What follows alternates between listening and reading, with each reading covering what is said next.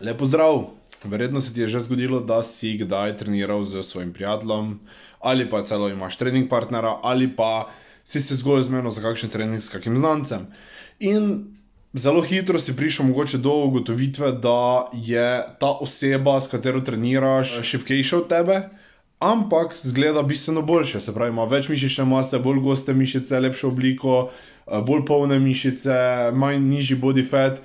Ti si pa preprosto močnejši od te osebe, ampak enostavno ne zgledaš, kot da si močnejši od te osebe. Tukaj je ena zanimiva stvar, ki se reče genetika, na katero dejansko noben od nas ne more vplivati, vsaj ne direktno. Z genetiko, ki jo imamo, moramo delati. Se pravi, nimamo izbire in s tem se narodimo. To je stvar, ki se pri nas ne spreminja, na njo lahko oziroma na naš DNK lahko vplivamo z določenimi lifestyle izbirami skozi daljše, daljše obdobje, to pomeni leta in leta in leta, ampak same genetike, kaj ti telo dovoli, se pravi, do kake mišične mase in vse to, tega dejansko ne moreš spremeniti. Kaj hočem s tem povedati? S tem hočem povedati, da moramo igrati s kartami, ki so nam bile deljene. Če je nekdo pod manjšim stresom in, se pravi, trenira z manjšimi težami in se boljše odziva, je to zgolj stvar genetike.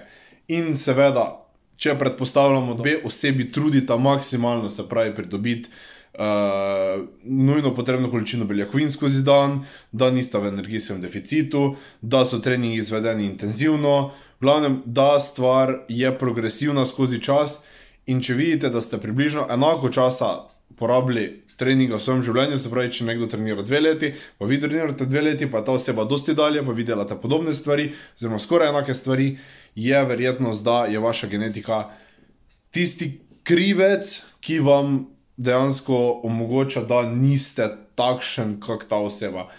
In dejansko vse, kaj imam za reči, je ne obupati. Pač vsi nismo rojeni za biti najboljši na svetu, jaz sam sem več kot osem let praktično tekmoval v športu bodybuildinga in ne izgledam kot Mister Olympija, niti ne izgledam kot neki pro, ampak izgledam zgolj povprečno za nekega lokalnega tekmovalca. Več kot zmagal neke vaške tekme, mednarodne, tudi nisem. Ampak sem za ta šport praktično pustil več kot deset let svojega življenja in se trudil maksimalno, da dosežem svoj maksimum. Pomembno je, da vemo, da nas genetika ne sme ustavljati pred temi cilji, pač vsak mora dati najboljše od sebe, pač kar lahko, zato da doseže neki rezultat. In na koncu mi najboljše je, da naredimo najboljše pač, kar lahko iz svojega telesa. Zdaj, obremenjevanje s tem, zakaj je nekdo boljši od vas in dela enake stvari, je brez veze, zato ker tega ne ne moremo nikakor spremeniti, ne ti ne jaz ne noben. to je pač, kaj si podedoval po svojih prednikih, in s tem moraš delati. to je nekako moje sporočilo glede tega. Bi pa rekel, definitivno so razlike, se lahko zgodi, da se marsikatera stvar ne izvaja stoprocentno, recimo lahko, da še imaš dosti dosti prostora pri prehrani, pri treningu, dosti tem, da si svoj lifestyle spraviš v red, mogoče več spanja, več počitka, ki ga sicer nimaš, se pravi, zniževanje nekega stresa, ki ga imaš v vsakdanjem življenju, če če je seveda to mogoče. Zato, da dobiš tisti tisto prednost pred ostalimi, ki pa imajo boljšo genetiko. Zato ker ni rečeno, da tisti, ki ima najboljšo genetiko oziroma zelo dobro genetiko, ima dejansko genetiko v glavi, da je zmožen se toliko potruditi in narediti vse, kar je potrebno v tem športu za biti najboljši. Se pravi, če nimaš genetike, pa si garač in trdo delaš, lahko postaneš boljši od tistega, ki ima dobro genetiko.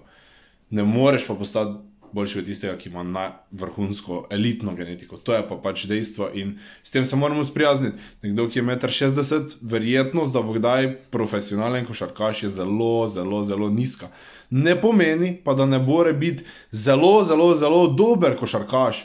In ne pomeni, da ne bo boljši košarkaš od nekoga, ki je visok dva metra, pa žogo povoha mogoče enkrat do dvakrat na teden, ti pa vsak dan trdo treniraš za to. Tako da, to je moje sporočilo, hvala lepa za ogled, lajkajte, šerajte, subskribajte, tisti zvonček tam doli kliknite, pa pogledajte izdelke na www.fs.pomišljajteam.com. To je to, hvala lepa, čau, čau.